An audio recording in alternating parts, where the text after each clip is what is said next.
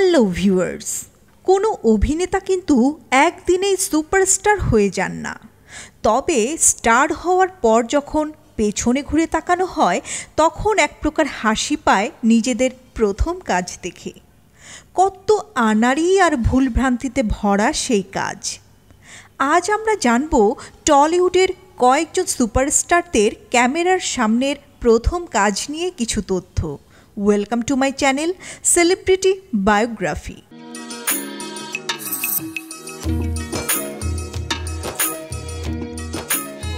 প্রথমেই আসা যাক জিৎ সম্পর্কে। আমরা সকলেই জানি নাটের গুরু নামের একটি সিনেমার হাত ধরে সিনেমার পর্দায় প্রবেশ করেছিলেন জিৎ, যেখানে জিতের বিপরীতে অভিনয় করেছিলেন কোয়েল মল্লিক। কিন্তু আপনি হয়তো জানেন না এটা কিন্তু জিতের প্রথম কাজ নয়। উনিশশো সালে বেওয়াফা তেরা মাসুম চেহেরা নামক হিন্দি মিউজিক অ্যালবামে তিনি প্রথম কাজ করেছেন। এরপর আসা যাক সোহম চক্রবর্তীর কথায়। টলিউডের নায়ক হিসেবে সোহম প্রথম অভিনয় করেছিলেন দু হাজার আট সালে বাজিমাত সিনেমায়, যেখানে সোহমের বিপরীতে অভিনয় করেছিলেন শুভশ্রী গাঙ্গুলি। তবে আপনি হয়তো জানেন না, এটা সোহমের প্রথম কাজ নয়। মাত্র ছয় বছর বয়সেই সোহম ছোট বউ সিনেমায় একটি ছোট্ট ছেলের চরিত্রে অভিনয় করেছিলেন। হিসেব মতো এটি ছিল সোহমের প্রথম কাজ। এই সিনেমায় সোহম ছাড়াও অভিনয় করেছিলেন প্রসঞ্জিৎ চট্টোপাধ্যায়, রঞ্জিত মল্লিক সহ আরও নামি দামি তারকারা। এই সিনেমায় ছোট্ট সোহমের একটি ডায়লগ ছিল মা একটু হলে যাও না চেটে চেটে খাব। এই ডায়লগটি আজও মিম হিসেবে ব্যবহার করা হয় সোশ্যাল মিডিয়ায় চলুন এবার দেখে নেই দেবের প্রথম কাজ কি ছিল।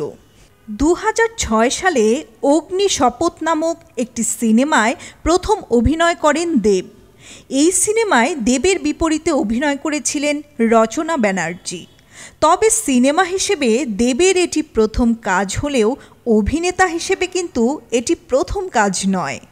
দু সালে মুক্তিপ্রাপ্ত জয় ভোলানাথ, জয় মহাদেব নামে একটি অ্যালবামে অভিনয় করে প্রথম আত্মপ্রকাশ করেছিলেন আজকের টলিউড সুপারস্টার দেব।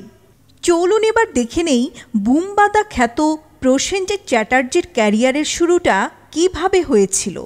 প্রসেনজিৎ নিজের ক্যারিয়ারে একশোটিরও বেশি সিনেমায় অভিনয় করেছেন।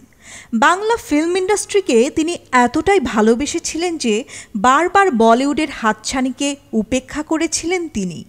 উনিশশো সালে দুটি পাতা নামক একটি সিনেমার মাধ্যমে টলিউডে প্রবেশ করেছিলেন প্রসেনজিৎ।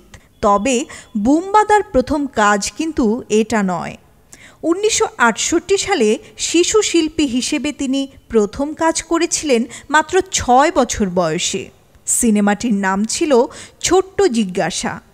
তো ভিউয়ার্স, কেমন লাগল আমাদের আজকের ভিডিওটি? কমেন্ট করে জানাতে কিন্তু ভুলবেন না। Thanks for watching.